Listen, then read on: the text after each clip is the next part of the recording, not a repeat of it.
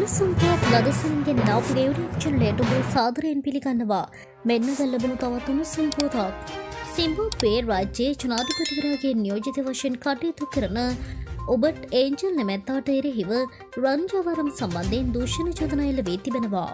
කෙසේ වෙතත් දීර්ඝ ප්‍රකාශයක් නිකුත් කරමින් ජනාධිපති නියෝජිත එන්ජල් කියා සිටියේ අල්ජසිර පුවත්සිවේ විසින් වාර්තා කරන ලද පුවත තමන්ගේ ප්‍රතිරූපයට හානි පමණවාලීමට සිදු කරන ලතක් බවයි.